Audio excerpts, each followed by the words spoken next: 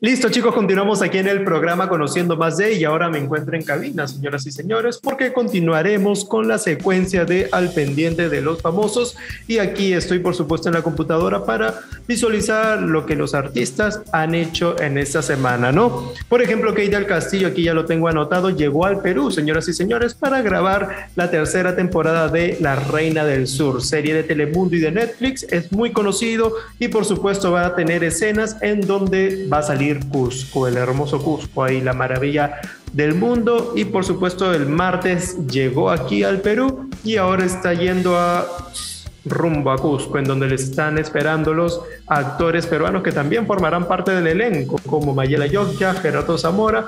Así que tenemos que esperar lo que se viene en La Reina del Sur, del Sur, ¿no? La Reina del Sur tercera temporada, ¿no? Continuando entonces con más información aquí en esta secuencia, Justin Bieber estrenó documental en Amazon Prime Video el día de ayer 8 de octubre. Un nuevo documental que por supuesto tendrá éxito. El cantante ha estado trabajando bastante bien y esto es el documental de Our World, ¿no? No sé si está bien dicho el inglés, pero en fin. Our World captura el concierto de Bieber en la víspera de Año Nuevo el año pasado en el Beverly Hilton de Los Ángeles, mostrando un espectáculo con una coreografía ajustada de éxitos anteriores y recientes para los fanáticos enmascarados que miran desde los balcones del hotel. No va a ser un documental muy interesante también. No es la primera vez que Justin Bieber lanza un documental de, de esta temática. Y bueno, toda esta emoción de Justin Bieber lo ha transmitido en sus redes sociales. No durante toda esta semana Justin ha estado publicando que tenemos que ver el documental.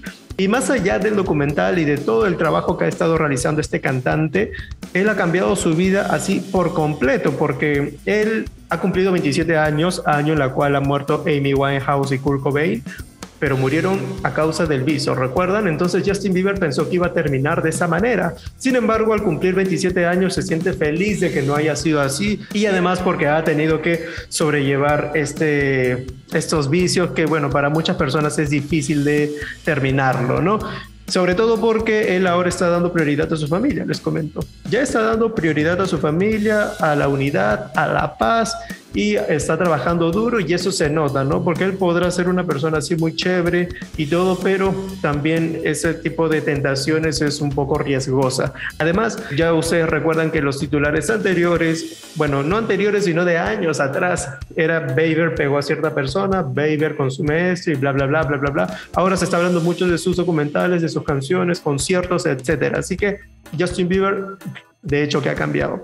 Siguiente información, Nathaniel Sánchez, la actriz peruana que ahora se encuentra en España, ella siempre ha demostrado de que le gusta bastante la salsa, ¿no? Y es otra artista que jamás deje eh, de lado el baile. Por supuesto, ella siempre ha dicho que la salsa es su pasión y lo ha recalcado una vez más en sus redes sociales. Ahí pueden observar aquí al costado mío en donde ella está bailando en su última publicación y bueno, pues síganla y cómo olvidar, bueno, a la Fernandita de Alfonso y Sitio, papel interpretado por Nathaniel Sánchez. Ventura mosca.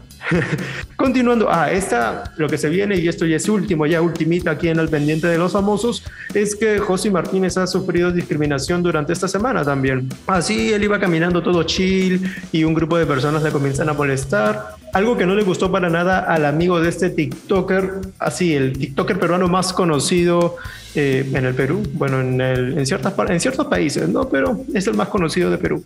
Y ya este, se pelearon, se agarraron a golpes, todo ese grupo con su amigo. Felizmente no fueron daños graves porque eh, el otro grupo tenía una navaja. Imagínate qué es lo que hubiera pasado si la bronca hubiera seguido, ¿no?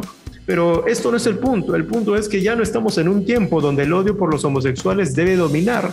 Y José Martínez es una persona que simplemente ha estado paseando por allí y no era justo que también lo molesten de esa manera, ¿no? No puedo justificar tampoco el ataque del amigo por defenderlo, pero estas cosas en realidad de discriminación y todo no pueden suceder. Así que José Martínez, me imagino que estará tranquilo, ya ha puesto la denuncia, tanto el amigo y la otra TikToker que le estaba acompañando, que no recuerdo su nombre. Pero bueno, en fin, esto ha sido todo aquí en el bloque de Al Pendiente con los famosos y rápidamente nos vamos al estudio para seguir hablando de más novedades.